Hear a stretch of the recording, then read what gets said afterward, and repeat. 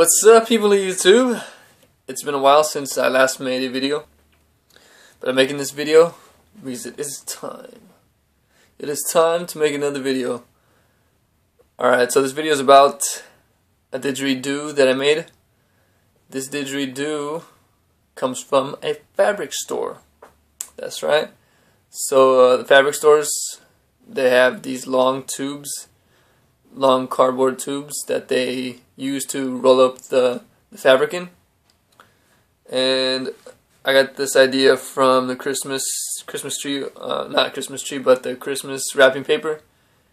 I started messing with it because I learned how to play didgeridoo, so I started messing with it and I made a trumpet sound out of it. And they got me thinking that the cardboard tube inside the fabric no, that's wrapped around in could be turned into a didgeridoo. So I went to the fabric store and I asked them if I can have the tube, and they let me have it for free.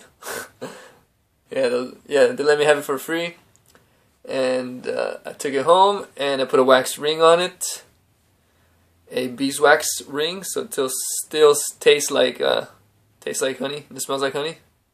So it's that much fun, that much more fun to play with, play on a didgeridoo. So without further ado or to do, however that phrase goes, I'm going to play the didgeridoo.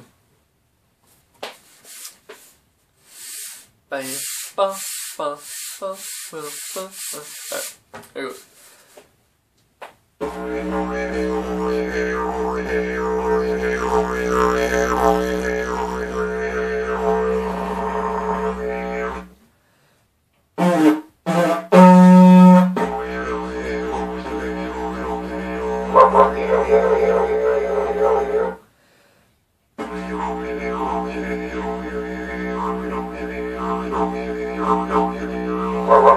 So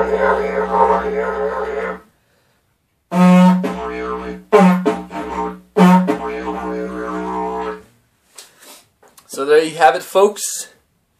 The Fabric Store didgeridoo. You can't stop the didgeridoo. You cannot stop it.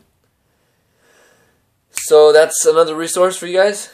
Go into a fabric store, ask if you can have the cardboard tube, and DIY yourself a didgeridoo and get playing.